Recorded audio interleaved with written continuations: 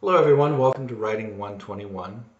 Just wanted to uh, introduce you to the class a little bit and to myself. So quickly, um, my name is James Watson. I'll be serving as your instructor.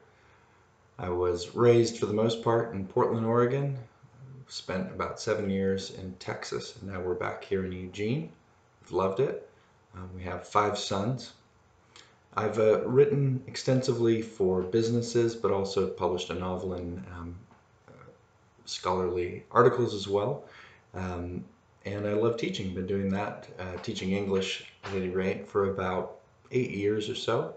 Uh, and am thrilled to be at NCU and to be working with the ADP program this summer. Um, as far as the course 121, thinking and writing, um, this isn't about, as I kind of say in the introduction on the syllabus, this isn't about, oh, let's see if you're kind of a a genius writer to begin with and you know how can you show off your skills? This is about learning the replicable building blocks of good college writing that you'll be able to use for the rest of your college um, career but also beyond um, in the workplace.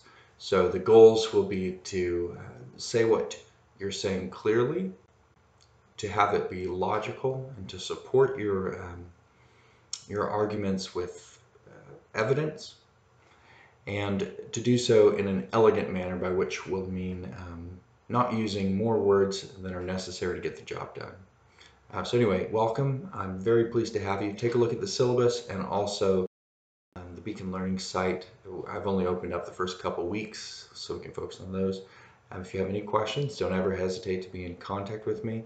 And I really do uh, look forward to working with you and helping you on your way. So thank you and welcome to 121.